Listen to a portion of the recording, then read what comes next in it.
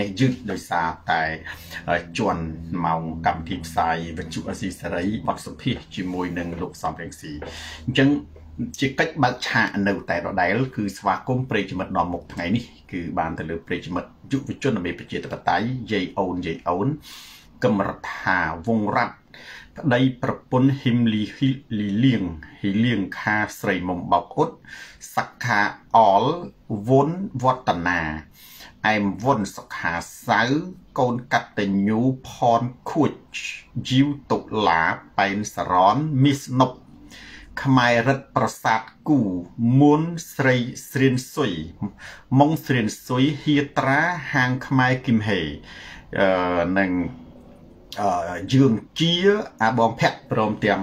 ប្រិយមិត្តជាច្រើនប្រទេសទៀតដូចជាកាបែលវីរៈសុកនិងសេងអ៊ុងដែលកំពុងតាមដានទស្សនាការផ្សាយផ្ទាល់របស់ខ្ញុំនារាត្រីនេះម៉ោង9យប់សុធាកម្ពុជាម៉ោងនៅក្នុងប្រទេសកម្ពុជាខ្ញុំសូមបង្ហាញរបៀបព្រះមេត្តរមេតាគុំ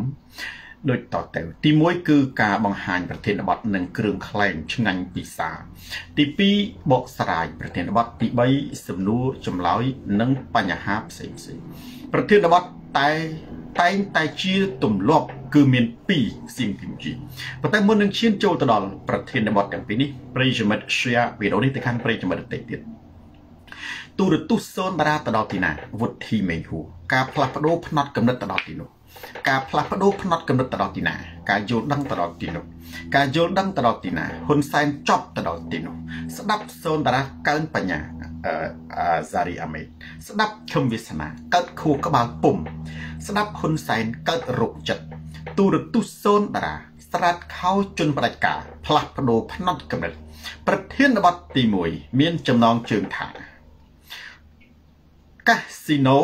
ចិញ្ចឹមហ៊ុនសែន អានេះបើយោងតាមណាបទសម្ភាសរបស់លោកប្រធានសំរងស៊ីមុននេះបន្តិចហើយនៅក្នុងប្រធានបទទី1នេះពាក់ព័ន្ធជាមួយនឹងមេកាស៊ីណូហើយពាក់ព័ន្ធជាមួយនឹងឥទ្ធិពលអន្តរជាតិបងស្រុកយើងក៏ដាក់ប្រធានបទថាតើឥទ្ធិពលស្ថានភាពអន្តរជាតិវងគីវុតចេះឥទ្ធិពលអ្វីខ្លះមកក្នុងប្រទេសកម្ពុជា ប្រធានបទទី2គឺជាប្រធានបទតពួកដែលថ្មីថ្មីនេះ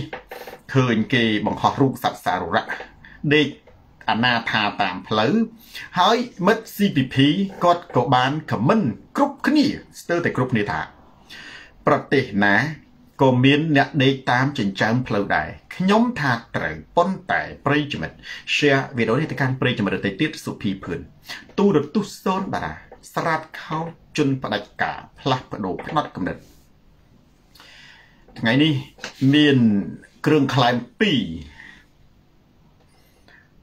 គ្រឿងក្លែមមីដកបូហ្វាជេឡាសិនចេញពីសាដែលខ្ញុំមើលចោះចាស់បងប្អូនផ្ញើសារមកចាប់តាំងពីខ្ញុំសម្រាប់បាទជាប់រៀននៅកម្មវិធីផ្សាយផ្ទាល់មួយរយៈហ្នឹង ហើយក៏មើលមិនអស់អញ្ចឹងបើបងប្អូនណា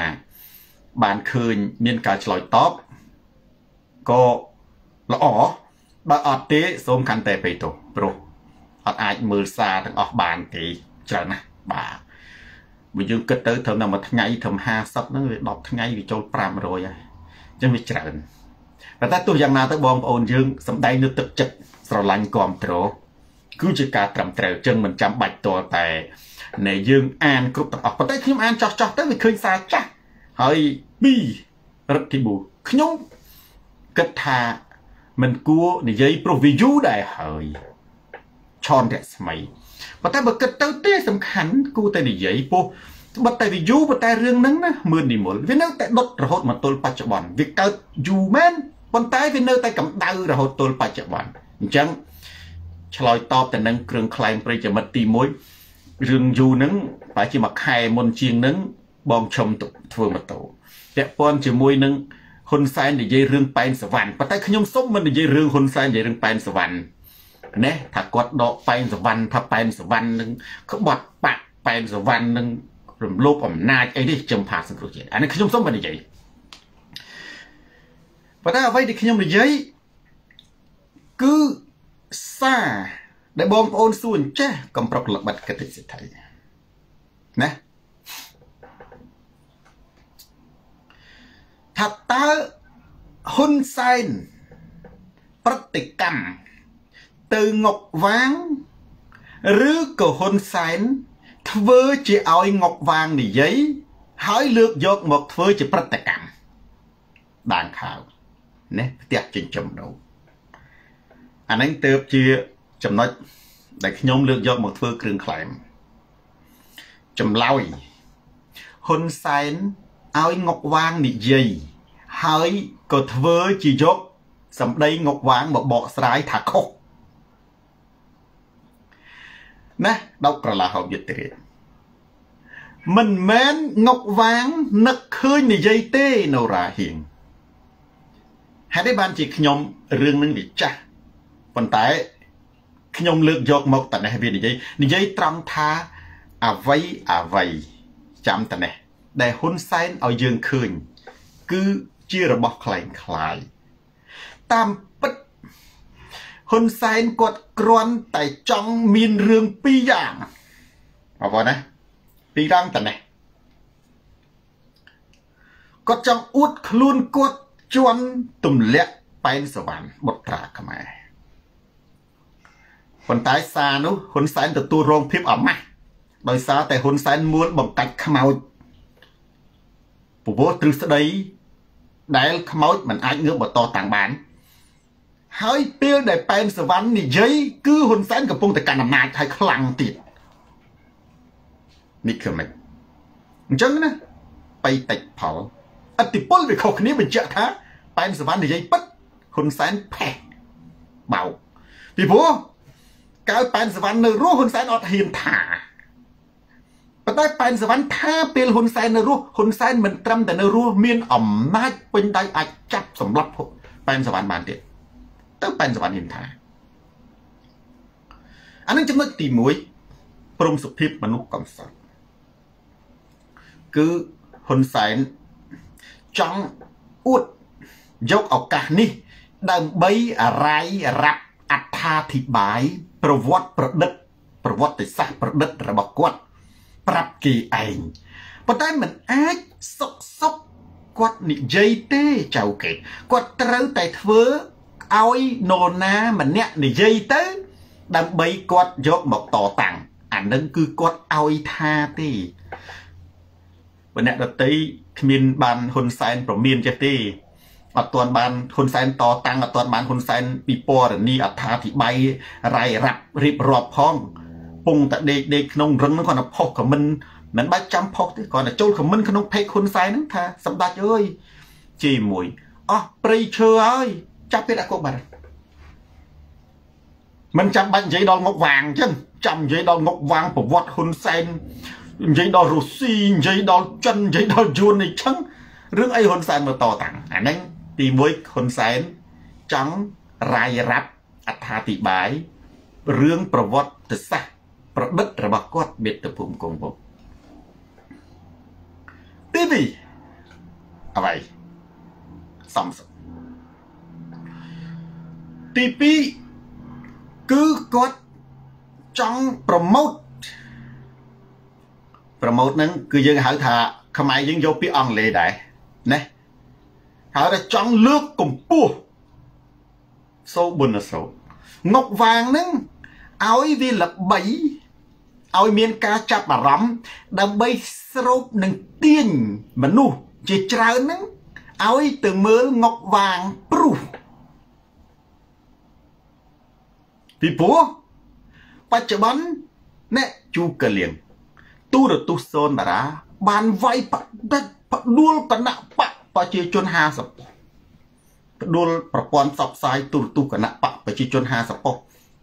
ណាតាំងពីទូរទស្សន៍តាំងពីកាសែតតាំងពីវិទ្យុរបស់គណៈបកប្រជាជន ត្រូវទូរទស្សន៍សូនតារានឹងភ្លឺឆ្វាចបាត់លុបអស់អាលីងដូចដែលព្រះអាទិត្យរះណាមកភ្លឺឆ្វាចមកអំពិលអំពើចនឹងលែងឃើញអីអស់ណែមីនុបបូណារិត ហេតុនេះបានហ៊ុនសែនត្រូវប្រម៉ូតត្រូវផ្សាយពាណិជ្ជកម្មងុកវាងពីព្រោះដើម្បីងុកវាងនឹងគឺជាឧបករណ៍នយោបាយរបស់គាត់ហើយនៅពេលណាដែលមនុស្សទៅចាប់អារម្មណ៍ឮសម្ដីហ៊ុនសែនអញ្ចឹងនាំវាទៅស្ដាប់ហើយដើម្បីឲ្យងាកចេញអំពីទូរទស្សន៍សូនតារានិងអ្នកតស៊ូមហាហានមតិរបស់គណៈបកសង្គ្រោះជាតិ ប៉ុន្តែលទ្ធផលសូនវេហាផេះបាទសូនតារានិយាយនេះគឺ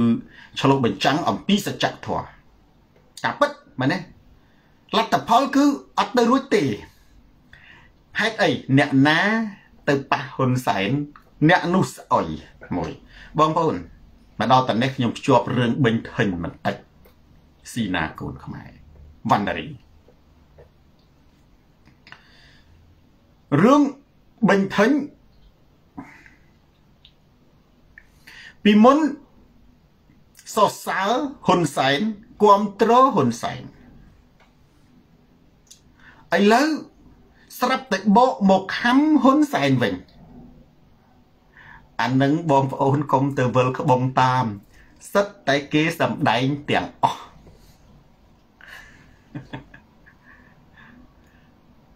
តែទោះយ៉ាងណាក៏ដោយទោះបីជាវាជាការសម្ដែងក៏ដោយ ក៏វាជាផុសតាងបញ្ជាក់ថាបិញថេញពិតជាធ្លាប់បានបំរើហ៊ុនសែនពិតប្រកបមែនបាទហ្នឹងយើងចង់បានតែហ្នឹងតាគេពីមុនវាប្រកែកក្រោយមកទៀតទើប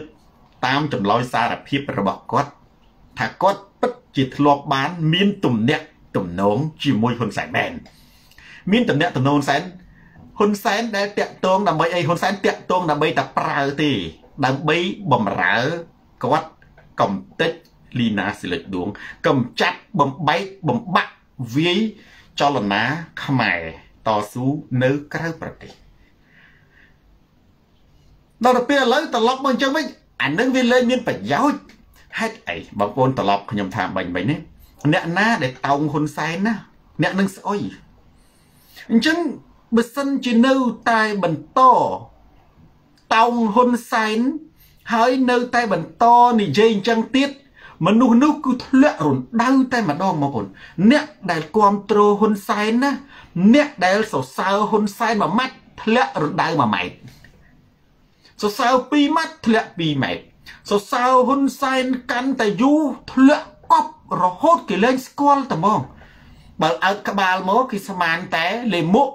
គេជោគចេញតែហ្មងគេស្ដោះទឹកមាត់តែហ្មងអញ្ចឹងដើម្បីកែស្ថានភាពពីព្រោះនៅពេលណាដែលនិយាយសរសើរហ៊ុនសែនពេកទៅវាស្អុយវាកប់វាងាប់យីជាងលីងអញ្ចឹងវាត្រូវតែជេរហ៊ុនសែនតិចមកដើម្បីរើបតិចឲ្យយើងទៅចាញ់បោកទៅជឿគ្នាគេទេខ្ញុំគ្រាន់តែជម្រាបថាចេះអញ្ចឹងសរុបសេចក្តីមកវិញប៉ិនប៉ិននេះកិច្ចជីវលេងគេសួរថាតើ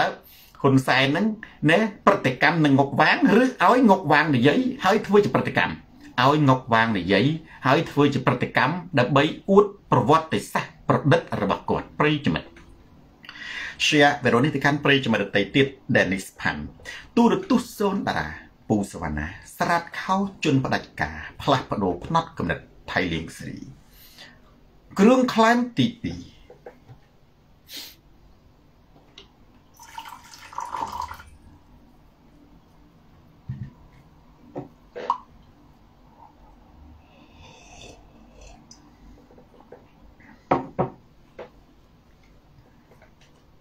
រឿង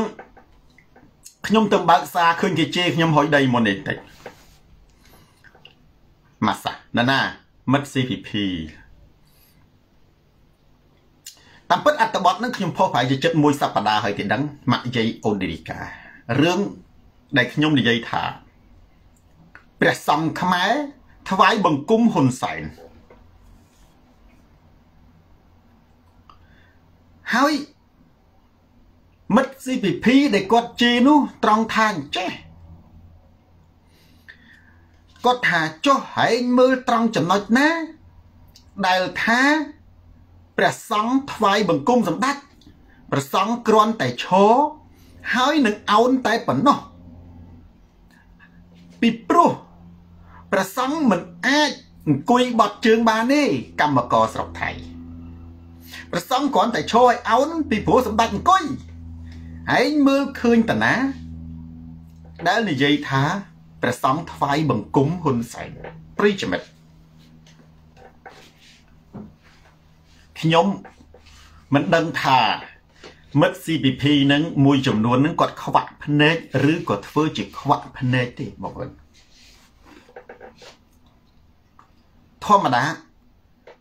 ពុទ្ធសាសនា នៅលើពិភពលោកបែងចែកជា 2ទៅ3និកាយតាមខ្ញុំចាំ2និកាយដូចជានៅ ពុទ្ធសាសនានៅកូរ៉េនៅចិននៅជប៉ុននៅយួននេះហ្នឹងគឺជាទូទៅ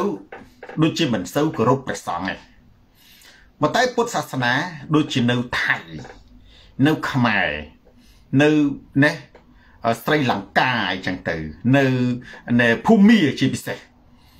អានឹងគឺអិរិយាបថគឺ សាសនានៅលើជានិច្ចកំពូលជានិច្ចអិរិយាបថនោះបងប្អូនសំបីតែលីនដាឡុងព្រះសង្ឃឈរអោនលំទោននៅចំពោះមុខដោយកាយវិការជាអ្នកលុញពង ជាភាសាខ្មែរគេថាចេះ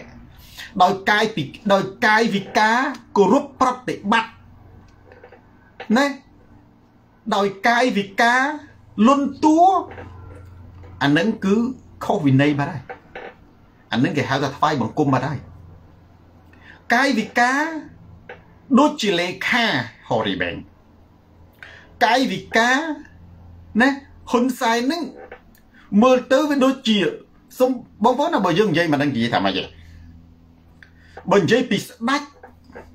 ក៏នៅតែក្រោមនៅតែថ្វាយបង្គំប្រសង់នេះប្រសង់ត្រូវតែនឹងខឹងចនិច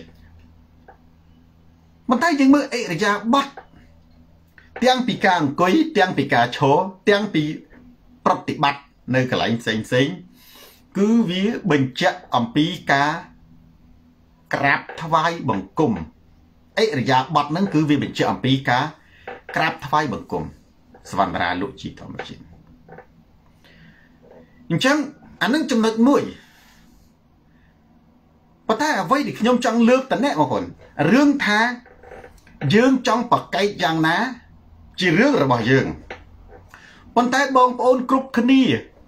គេអាចវិនិច្ឆ័យទៅលើអិរិយាបថទាំងអស់នឹងបានមិនជាបញ្ហាណាថាវាជាអិរិយាបថថ្វាយបង្គំ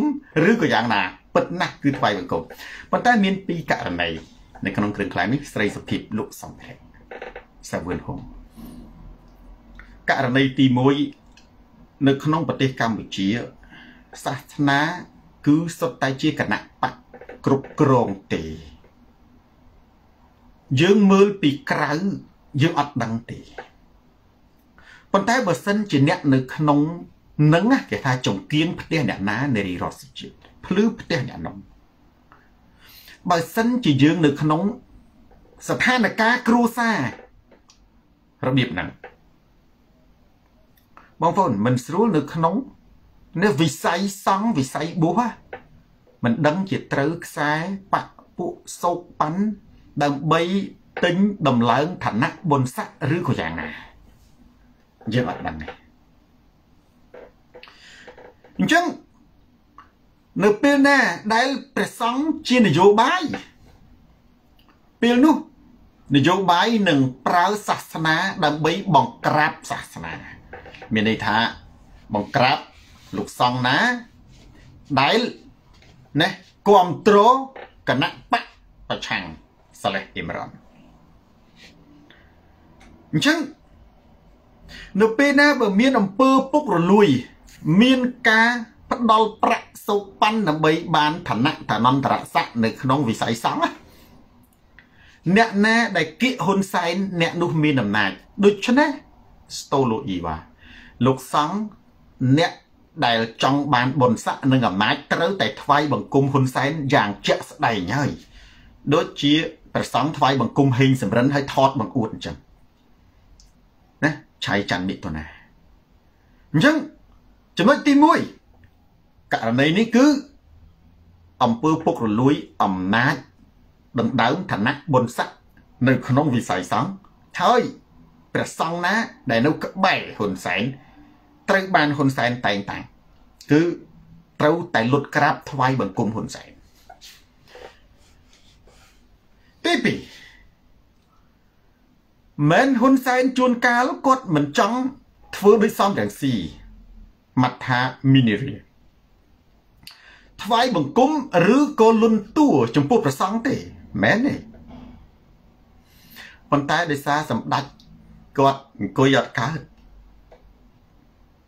សម្ដេចគាត់មានជំងឺគាត់អោនអត់រួចទេផាត់ប៉ូលីបញ្ញាពេជ្រណាហ៊ីនលាវសម្ដេចបើសិនជាសម្ដេចអង្គុយគាត់ងើបវាអត់កើតដូច្នេះគាត់អង្គុយលើកៅអីគាត់ងើបបានហ៊ុនសែនណាបងប្អូនអង្គុយបត់ជើងអត់កើតទេឬក៏ហ៊ានតែរៀងកាយសង្រួម ប្រតិបត្តិធ្លាក់ដល់កតេលភ្លាមពេលដែលត្រូវការក្រោកវិញត្រូវតែមានអ្នកសែង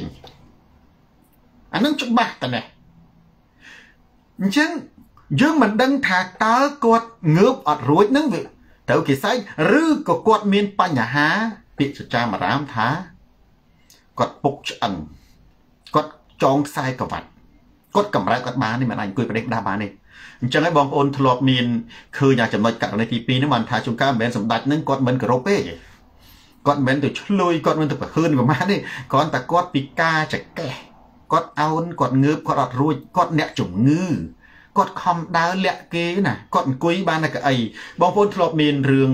មានរឿងនៅ Facebook គេថតរូបមួយលោកតាម្នាក់ណាគាត់អង្គុយលើកៅអីប្រសងអង្គុយក្រោមហើយគេយក Facebook ហ្នឹងមក រិះគន់គ្រប់គ្នាប៉ុន្តែក្រោយមកទៀតសម័យខ្លួនបានបកស្រាយថា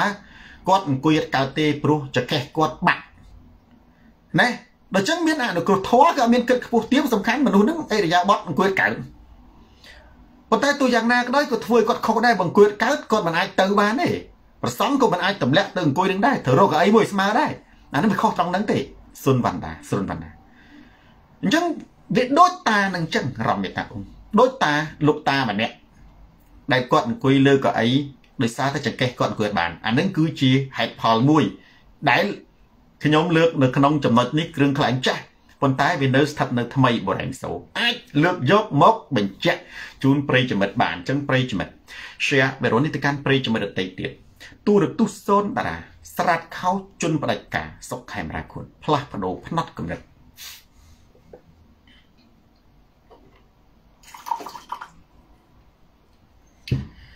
បាទយើងចូលទៅដល់ប្រធានបទទី1ក្តៅ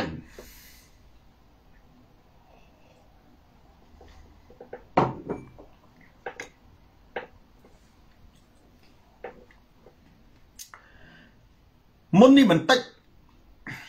នៅក្នុងបទសម្ភាសវិទ្យុអាស៊ីសេរីកណ្ដាលសមុទ្រសារមួយដែលខ្ញុំចាប់អារម្មណ៍ពីព្រោះ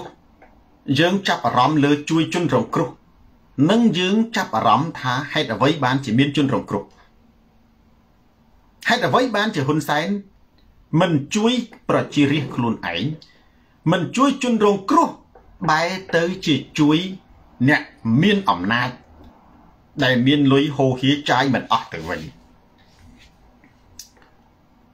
ថ្ងៃនេះសារដ៏សំខាន់មួយលោកប្រធានសំស៊ីបានលើកគឺ ថៅកែកាស៊ីណូផានីលឹមចិញ្ចឹមហ៊ុនសែនហើយបើខ្ញុំលើកចំណុចនេះមកនិយាយនៅក្នុងប្រធានបទទី1ខ្លីពីព្រោះបងប្អូនខ្ញុំធ្លាប់លើករឿងនឹងច្រើនដងហើយប៉ុន្តែដោយសារតែថ្ងៃនេះលោកប្រធានសំរងស៊ីគាត់បានលើកមកបន្ថែមហើយវាស្របវាស្របទៅនឹងអ្វីដែលនេះប្រធានបទសនតារាច្រើនតែលើកកន្លងមកផាត់ទីឡាំបឺក លើកកន្លងមកដោយខ្ញុំយោង3សំខាន់សំខាន់ទី1ខ្ញុំយោងទៅលើរបាយការណ៍ Global Witness គ្រួសារអាណាចក្រជំនួយណាអានឹងទី1ទី2ខ្ញុំយោងទៅលើណាស្ថានទូតនិងក្រសួងការបរទេសអាមេរិកដែលនិយាយអំពីអធិបុលចិននៅក្នុងប្រទេសកម្ពុជាកន្លងមក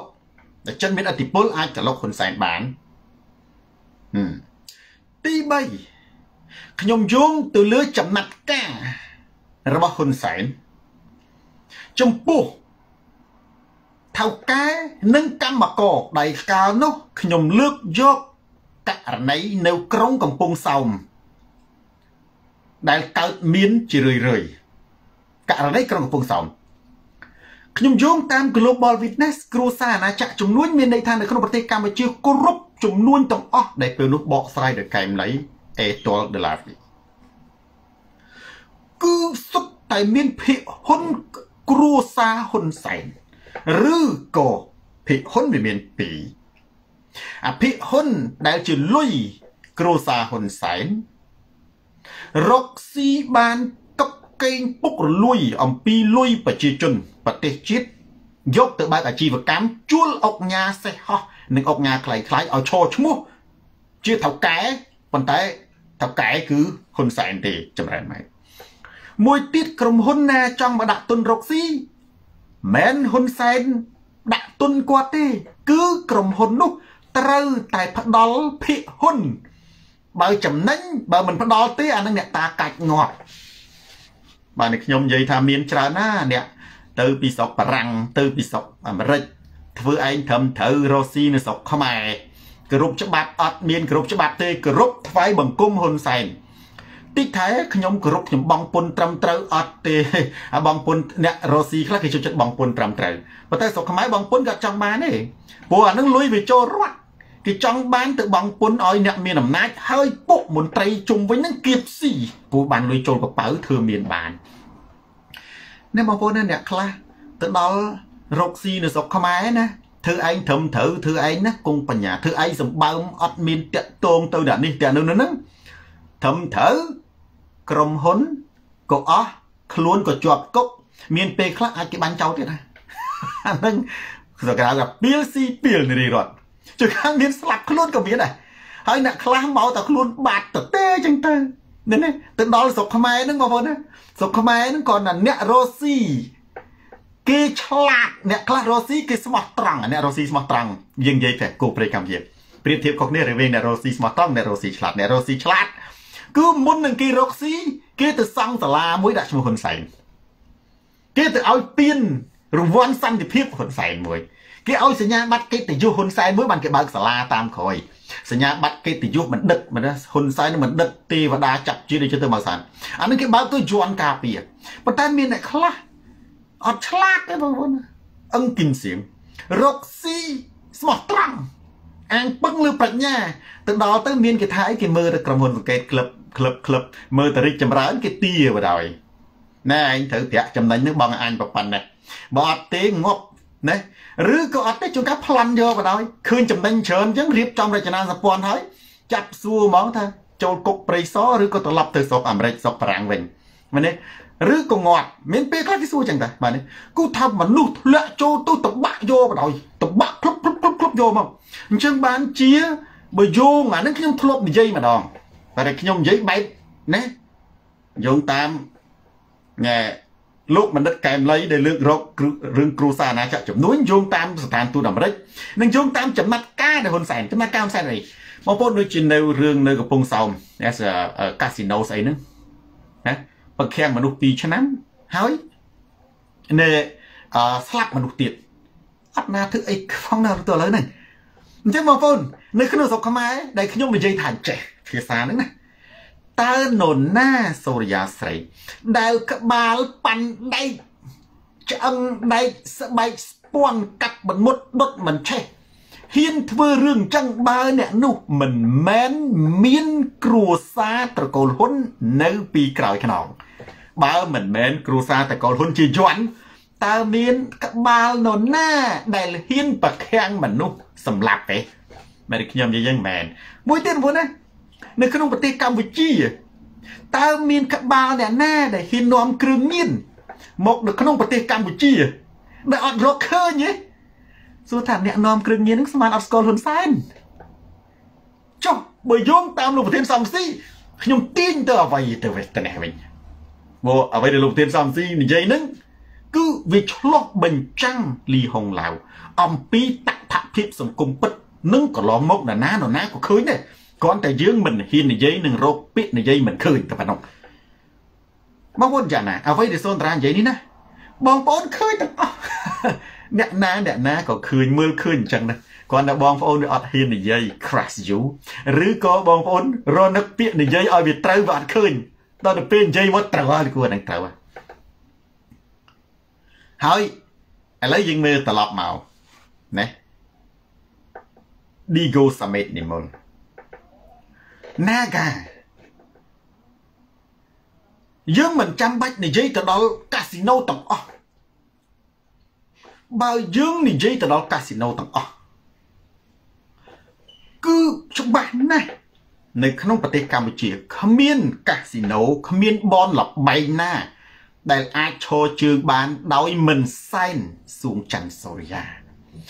ដោយមិនយកលុយទៅចិញ្ចឹមគ្រួសារហ៊ុនសែនឡើយ បើកាលណាបើយោងតាមលោកប្រធានសំនិស៊ីក្រុមហ៊ុនថៅកែកាស៊ីណូទាំងអស់ហ្នឹងណាគៀងគ្រូយកលុយទៅចិញ្ចឹមហ៊ុនសែនតើគេចិញ្ចឹមហ៊ុនសែនធ្វើអីបើមើលមួយផ្លែតហ៊ុនសែនអួតថាអញខ្លាំងណាស់បានគេទៅ តាមពិតផ្កាកំពុងធំគឺគេប្រើហ៊ុនសែនគេយកហ៊ុនសែនជាយន់អ្នករុស្ស៊ីគេអត់ត្រូវការអំណាចទេ គេត្រូវការអ្នកមានអំណាចការពារលុយគោលដៅរបស់អ្នកវិនិយោគគោលដៅរបស់អ្នកជំនួញគឺបង្កើតលុយមិនមែនអំណាចទេហើយដើម្បីបង្កើតលុយបានអាសិរិសអាសិរិសការីយ៉ាគឺគេត្រូវតែនៅជាមួយអ្នកមានអំណាចគេត្រូវប្រើអ្នកណាដែលមានអំណាចការពារគេនិយាយឲ្យខ្លីគេប្រើហ៊ុនសែន គេចិញ្ចឹមហ៊ុនសែនគេឲ្យលុយទៅក្រុមគ្រួសារហ៊ុនសែនគេសោកប៉ាន់ហ៊ុនសែនគេយកលុយទៅយកហ៊ុនសែនដើម្បីគេយកហ៊ុនសែននឹងជាឧបករណ៍ការពារគេដូច្នេះហ៊ុនសែនពិតជាឧបករណ៍ការពារពួកថៅកែកាស៊ីណូដោយលោកប្រធានសំជីថាមែនហេតុអីទាញយើងមើលច្បាស់ណាស់ណាកាណាកាណាកា ធ្លាប់មានឃើញអត្តបទណាអឺលោកប្រធានសំនិស៊ីនិងអឺសកម្មជន មួយចំនួនសរសេរអំពីប្រវត្តិនាការនេះតាំងពីចំនួនហុកឡង់ឌីឥឡូវនេះភិកហ៊ុនដែលហុកឡង់ឌីផ្ទេទៅឲ្យនៃលោកជំទាវកតិប្រពន្ធភរិយាហ៊ុនសែនមែនទេហើយក្រុមហ៊ុន Naga ហ្នឹងបើកាលណាវាមានភិកហ៊ុនគ្រួសារហ៊ុនសែនហើយហ៊ុនសែន ត្រូវតែការពារផលប្រយោជន៍របស់គាត់ហើយផលប្រយោជន៍អញហើយអញ្ចឹងហើយបានជាកម្មករពលករឬក៏បុគ្គលិក Naga ហ្នឹងញងសរឿនត្រូវទទួលរងនៅភាពអយុត្តិធម៌ជិះជាន់ចាត់ចងឥតឈប់ឈរដោយសារអីដោយសារតែហ៊ុនសែនឥឡូវហ្នឹងคล้ายទៅជាអង្គរៈរបស់ថៅកែកាស៊ីណូនៅក្នុងប្រទេសកម្ពុជាទាំងអស់ បងប្អូនហ៊ុនសែនបច្ចុប្បន្ននេះคล้ายទៅជាអង្គរៈកងការពីហើយតាំងគ្រឿងរបស់កាស៊ីណូទាំងអស់នៅក្នុងប្រទេសកម្ពុជាពីព្រោះយើងកុំមើលពួកកាស៊ីណូទាំងអស់នោះគេឲ្យលុយទៅហ៊ុនសែនគេឲ្យភាគហ៊ុនទៅហ៊ុនសែនគោលបំណងដើម្បីយកហ៊ុនសែននេះធ្វើជាអង្គរៈការពារជញ្ជាំងអាគាររបស់គេ ហើយនៅពេលណាដែលមានប្រទេសមួយមានមេដឹកនាំដែលជានាយករដ្ឋមន្ត្រីមែនទេប្រជាជនទំនួលខុសត្រូវការពារបម្រើផលប្រយោជន៍ជនរងគ្រោះប្រជាជនចន្ទ្រាបុតប៉ុន្តែបែរទៅជាធ្វើអង្គរៈកាស៊ីណូទៅហើយអានឹងគឺរដ្ឋិថៃជាមូលហេតុដែលយើងត្រូវតែ ផ្លាស់ប្ដូររបបផ្ដាច់ការស្វែងរកមេដឹកនាំដែលបំរើប្រជាជនមិនមែនធ្វើជាអង្គរៈកាស៊ីណូដូចហ៊ុនសែនទេ អានឹងចំណុចមួយនៅក្នុងប្រធានបទទី1ដែលខ្ញុំលើកយកសាររបស់លោកប្រធានសំរងស៊ីមកគឺវាស្របហើយវាឆ្លុះបញ្ចាំងអំពីតតភាពសង្គមមែនទេថៅកែកាស៊ីណូចិញ្ចឹមហ៊ុនសែនដូច្នេះហ៊ុនសែនត្រូវតែធ្វើជាអង្គរៈថៅកែកាស៊ីណូវិញលីហៀងប្រិយមិត្ត share វីដេអូនេះទៅកាន់ប្រិយមិត្តដទៃទៀតចាន់វីទូរទស្សន៍សូនតារាស្រាត់ខោជន់ផ្ដាច់ការស្រីនេះផ្លាស់ប្ដូរផ្នត់កំណត់ ឥឡូវយើងនិយាយអំពីថៅកែកាស៊ីណូយើងនិយាយពីនេះយើងពាក់ព័ន្ធជាមួយនឹងដូចខ្ញុំលើកកំបាញ់មិញវាពាក់ព័ន្ធជាមួយនឹងទូតអាមេរិកនិយាយអំពីអធិបុលចិននៅក្នុងប្រទេសកម្ពុជាដាក់ទ័ពហើយដាក់តាមរយៈមិនមែនតែកងទ័ពទេតាមរយៈក្រុមហ៊ុនកាស៊ីណូក្រុមហ៊ុនភ្នាល់លបែងក្រុមហ៊ុនសន្តាគារក្រុមហ៊ុនអាកាសចរក្រុមហ៊ុនអីផ្សេងផ្សេងចឹងក្រុមហ៊ុននាំភ្ញៀវទេសចរចឹងទៅហេតុអីពីព្រោះបងប្អូនមើលខ្ញុំចង់ឲ្យប្រិយមិត្តឃ្លាតមកមើលនឹងស្ថានភាពអន្តរជាតិបន្តិច មកដល់តនេះហេតុអីបានជាចិនប្រើប្រាស់ទឹកដីកម្ពុជាមុននេះបន្តិចលោកធានសំស៊ីនិយាយច្បាស់តែខ្ញុំឲ្យបងប្អូនទៅមើលវិទ្យុអេស៊ីសរ៉ៃទៅស្ដាប់ណាល្អជាងនេះប៉ុន្តែខ្ញុំនិយាយបែបទស្សនៈនៅពេលនេះញងសរឿនហេតុអីបានជាចិនកាន់កាប់កម្ពុជាចិនកាន់កាប់កម្ពុជា ពីព្រោះចិនចង់ប្រើប្រាស់ទឹកដីកម្ពុជាដើម្បី ជាមជ្ឈមណ្ឌលពង្រីកអំណាចនៅអាស៊ាននិងអាស៊ីអាគ្នេយ៍ពីព្រោះអាមេរិកបានបោះមូលដ្ឋានទ័ពច្រើន នៅជុំវិញនេះហុំព័ទ្ធចិនដូចជាតៃវ៉ាន់ក៏មានអាមេរិកដូចជាកូរ៉េជប៉ុន ក្បែរក្បែរនឹងហ្វីលីពីនបើចុះចិនបើសិនជាចិនយកបានកម្ពុជាមួយ ដែលជាមូលដ្ឋានទ័ពមានន័យថាអតិពលរបស់ចិនរិចហើយវាជារបងការពារអតិពលរបស់លោកសេរីអាមេរិកនិងអឺរ៉ុបលទ្ធិប្រជាធិបតេយ្យអញ្ចឹងចិនត្រូវប្រើប្រាស់កម្ពុជា ដើម្បីវិទីទឹកដីតំបន់ព្រោះហ្នឹងគេប្រើប្រាស់កម្ពុជាដើម្បីវិទីទឹកដីតំបន់ប៊ុនថេប ប៉ុន្តែឥឡូវយើងសួរថាហ៊ុនសែនគាត់ដឹងឯដឹង100%ដឹងជាងសូនតារាឆ្ងាយប៉ុន្តែហេតុអ្វីបានជាបើយោងតាមទូតអាមេរិកនិងក្រសួងការបរទេសអាមេរិកកម្ពុជាផ្ដល់មូលដ្ឋានទ័ពឲ្យអាមេរិកបើហ៊ុនសែនដឹងថាវាអញ្ចឹងពីព្រោះវាជាជំរើសរវាងជ្រើសរើសយកអាមេរិកនិងចិនហ៊ុនសែនរើសយកមួយណាហើយបើសិនជាហ៊ុនសែនរើសយកចិន ហ៊ុនសែនត្រូវផ្ដល់អីឲ្យចិននិងត្រូវបានអីពីចិនយើងឃើញហើយហ៊ុនសែនផ្ដល់អីឲ្យចិននិងបានអីពីចិនផ្ដល់អធិបតេយ្យភាពទីតាំងសម្រាប់ទូតអាមេរិកនិងក្រសួងបរទេសអាមេរិកថាមូលដ្ឋានទ័ពចិនពង្រីកអំណាចឥទ្ធិពលនៅក្នុងតំបន់អាស៊ាន ចុះហ៊ុនសែនបានអីហ៊ុនសែនបានការការពារពីចិនដើម្បីកុំឲ្យបាត់បង់អំណាចរបស់គាត់និងអំណាចតពូជចុះបើហ៊ុនសែនងាកទៅអាមេរិកលទ្ធិប្រជាធិបតេយ្យការបោះឆ្នោតត្រឹមត្រូវអំណាចវាអត់ស្ថិតនៅលើហ៊ុនសែនស្ថិតនៅលើប្រជាជនជាអ្នកបោះឆ្នោតអញ្ចឹងហ៊ុនសែនបើកាលណាមានការបោះឆ្នោតត្រឹមត្រូវបោះថ្ងៃនេះធ្លាក់ថ្ងៃនេះបោះស្អែកធ្លាក់ស្អែក បោះខានស្អែកធ្លាក់ខានស្អែកបោះខែក្រោយធ្លាក់ខែក្រោយដូច្នេះហ៊ុនសែនណាដើម្បីកាន់អំណាចក៏ត្រូវតែផ្ដាច់ការហើយភាពផ្ដាច់ការរបស់ហ៊ុនសែនគឺគាត់ផ្ដាច់ការរបៀបបំភាន់ផ្នែកដែលគាត់ប្រកាន់ទស្សនៈថាចម្រើនគុំកុំតឹងពេកកុំធូរពេកគឺត្រូវតែលេងសើចជាមួយអ្នកណាដែលអាចទិញបានឲ្យអ្នកនឹងដើរតួសំដែងបង្ក្រាបសភាពការគឺទប់ ទល់សភាពការខាងក្នុង ចាប់គោលនយោបាយការបរទេសអានេះខ្ញុំណាអ៊ីសាបែលជួនថ្ងៃនេះខ្ញុំនិយាយបែបវិទ្យាសាស្ត្រនយោបាយចុះបងប្អូនយុទ្ធសាស្ត្រនយោបាយរបស់ហ៊ុនសែនយើងត្រូវយល់អានេះបើកាលណាយើងយល់អានឹងធ្វើយើងសម្រេចចិត្តនយោបាយមួយត្រូវមិនមែនហ៊ុនសែនប្រកែទេប៉ុន្តែបើដឹងថាហ៊ុនសែនដើរច្រកណាយើងត្រូវដើរច្រកម៉េចពីព្រោះណាំមុននាទីយើងអាចធ្វើរឿងដដែលដដែលបានទេមានប្រិយមិត្តម្នាក់គាត់សួរខ្ញុំ គាត់សួរខ្ញុំមកលោកគ្រូ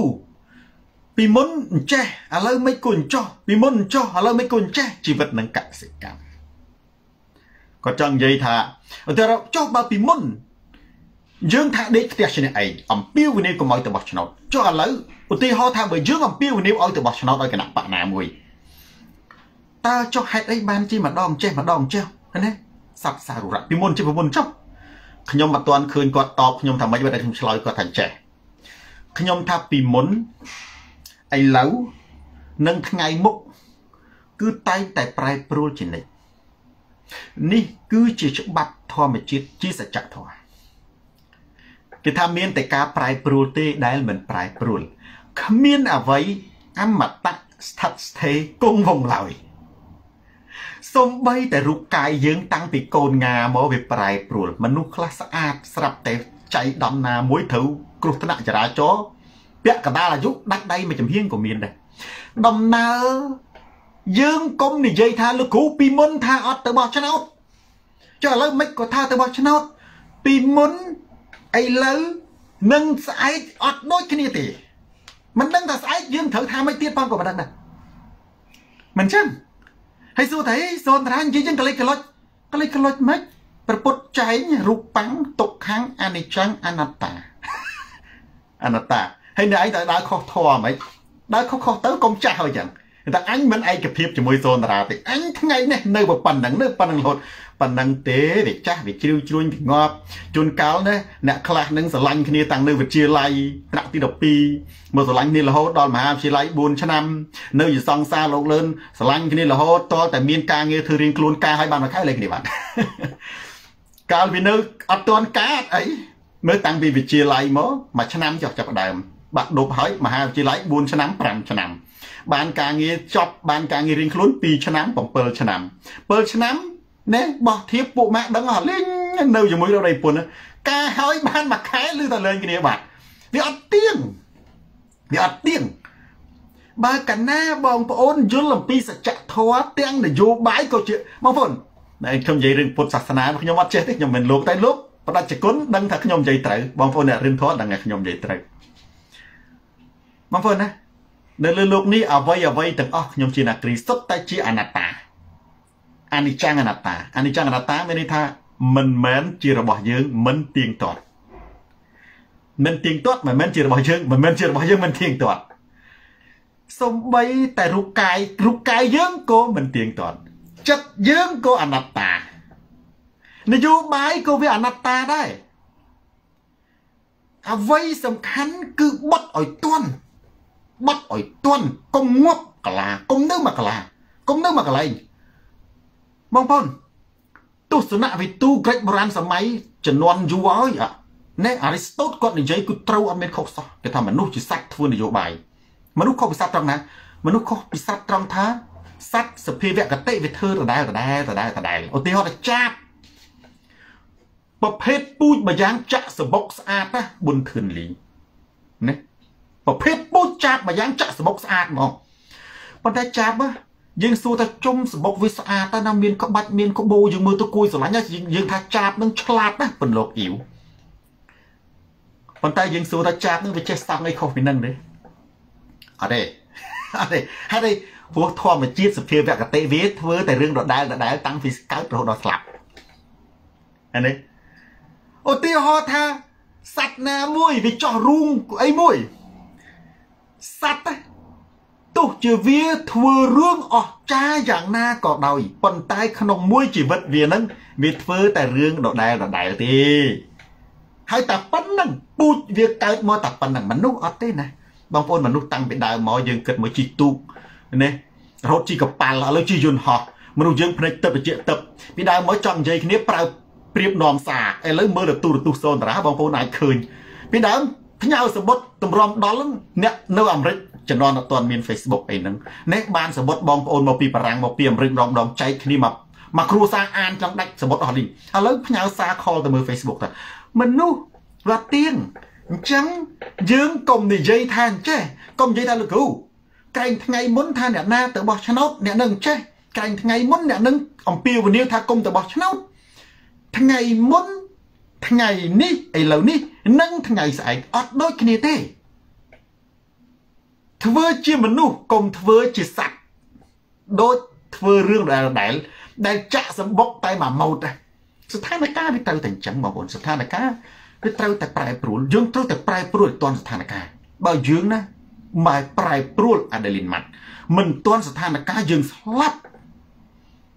ខ្ញុំនិយាយរឿងឧទាហរណ៍រឿង Borenso បងប្អូនណាពីមុនណាមុនកាលពីមើលមុនឆ្នាំមុនឆ្នាំ2006ហេចឹងហ៎តែមុនឆ្នាំ2010បងប្អូននឹងមុនឆ្នាំ2010ទូរស័ព្ទម៉ាកអីដែលគ្រប់គ្រងពិភពលោកទេតែទូរស័ព្ទនេះវាអត់ចេះប្រែប្រួល ហើយទូរស័ព្ទម៉ាកអីដែលប្រើទៅគេសោចទេឃើញគេប្រើនេះគេសោចអាយ៉ាស់មាត់មកខ្មាស់គេអត់មានអីខ្មាស់គេជាងប្រើទូរស័ព្ទមួយម៉ាកហើយលើម៉ាកហ្នឹងល្បីសំបីសូនរាក៏ប្រើដែរបងប្អូនមានដឹងថាទូរស័ព្ទម៉ាកអីដែលធ្លាប់គ្រប់គ្រងពិភពលោកមុនឆ្នាំ2010ប៉ុន្តែវាអត់វាអត់ប្រែប្រួលវាអត់វាអត់វិវត្តណាវាអត់បត់បែនណាសេរីសវណ្ណសីហាណា អាវងរ៉ាត់ណូគីគ្រីសេងណូគីចាន់វីអត់ទាន់ឃើញឆ្លើយទេត្រូវហើយណូគីឥឡូវខ្ញុំសួរតណូគីនៅឯណាបងប្អូនពីមុនណាមុនឆ្នាំ2010ថាអត់អ្នកដែលប្រើទូរស័ព្ទ Samsung ណាខ្មាស់គេណាបងប្អូន Samsung Samsung បើកមកចេញភ្លេងចេញភ្លើងផ្លែតផ្លែតមករៀងដូចកងុករៀងដូចក្បាលថេងដែងអាំងអីចឹងទៅខ្មាស់គេណាប្រើទូរស័ព្ទ Samsung ប៉ុន្តែ Nokia ណាវាអត់ប្រែប្រួលវាអត់វិវត្តខ្លួនវាគិតថាអញខ្លាំងហើយមែនទេតាំងទ្រឿងវាគិតថាវាសម្បើមហើយគិតថាចង់នៅដដែលណាមានឯណាណា Samsung ហើយនឹង iPhone ណា វ៉ាដាច់បាត់បងប្អូនតែវ៉ាដាច់ហើយងាប់បាត់ងាប់ងើបលេងរួចហ្មងឥឡូវងើបលេងរួចអានោះគេបាត់ឈឹងសល់តែ N77 ទេទូរស័ព្ទ Razer ទូរស័ព្ទបំរុងសម្រាប់គេប្រើលេខទី2ហ្នឹងសង្ស័យលេងតែមានទៀតផង N77 ហ្នឹងណាអញ្ចឹងបងប្អូនណាប៉ូឡាគីនៅក្នុងនយោបាយត្រូវប្រែប្រួលឲ្យទាន់កុំនិយាយថាលោកគ្រូចុះម្សិលមិញយើងថាអញ្ចេះអាម្សិលមិញយើងថាអញ្ចេះចុងថ្ងៃនេះមិនដូចម្សិលមិញណា តែអញ្ចឹងកលិចកលុចអត់ទេអត់មានអីកលិចកលុចទេបត់បែនឲ្យទាន់បើយើងនឹងងាប់ងាប់នឹងទៅមែនទេបើខ្ញុំមិនចង់រស់អើមិនចង់រស់ងាប់នៅនឹងទៅបើយើងបត់អត់ទាន់បងប្អូនណាខ្ញុំនិយាយនេះវិទ្យាសាស្ត្រសច្ចធម៌ពិតប្រាកដទាំងនៅក្នុងមុខចំនួនក៏ដោយទាំងនៅក្នុងអាជីវកម្មក៏ដោយទាំងនៅក្នុងនយោបាយក៏ដោយសភាពការត្រូវបត់ឲ្យទន់ហើយបងប្អូនដឹងថា ផែនដីយើងណាមូលហេតុបណ្ដាយនៅសើវាស្លាប់ដោយសារវាអត់អាចបត់ទន់អាកាសធាតុអញ្ចឹងថ្ងៃនេះសារសំខាន់ដែលខ្ញុំចង់លើកនឹងគឺសិនត្រីម៉ាយសភាពការអន្តរជាតិវាកំណត់អ្វីអ្វីទាំងអស់វាកំណត់អ្វីអ្វីទាំងអស់ឥឡូវយើងត្រឡប់ទៅរឿងអតិពលរបស់វាវាមកលើប្រទេសកម្ពុជាវិញ បងប្អូនសួរថាហេតុអីបានជានៃប្រទេសកម្ពុជាប្រែប្រួលនៅលើពិភពលោកកម្ពុជាអូនសាសាតែងតែប្រែប្រួលតាមស្ថានភាពពិភពលោកមិនតែកម្ពុជាប្រទេសណាក៏ដោយឥឡូវខ្ញុំនិយាយរឿងអ៊ុយក្រែននិងរុស្ស៊ីអ៊ុយក្រែននិងរុស្ស៊ីបងប្អូនដឹងថាអ៊ុយក្រែននឹងពីមុនជាប្រទេសជាជារបស់ប្រទេសរុស្ស៊ីទេ ដែលហៅសហភាពសូវៀតផានីលឹមបងប្អូនមានដឹងទេប្រទេសអ៊ុយក្រែនដែលរុស្ស៊ីវាយឈ្លានពានបច្ចុប្បន្នទើបតែឯករាជ្យបើតាមខ្ញុំចាំប្រហែលជា30ឆ្នាំឯមានឈ្មោះជាប្រទេសពីមុនជាខេត្តរបស់រុស្ស៊ីជារដ្ឋមួយរបស់រុស្ស៊ីប្រទេសថ្មីទៅកើតទេដូចជាកើតក្រោយសិង្ហបុរីផងសិង្ហបុរីក៏ទៅកើតដែរសិង្ហបុរីពីដើមដូចជាកោះម៉ាឡេស៊ី កោះរបស់ម៉ាឡេស៊ីក្រោយមកឯករាជ្យទៅជាប្រទេសមួយឥឡូវខ្ញុំសួរប្រិយមិត្តថាតើសុកសុកអ៊ុយក្រែនណាឯករាជ្យឬក៏សុកសុករុស្ស៊ីបាត់បង់អ៊ុយក្រែនទេអត់ទេស្ថានភាពអន្តរជាតិប្រែប្រួលរបបកុម្មុយនីសណានៅពីព្រោះពីដើមរុស្ស៊ី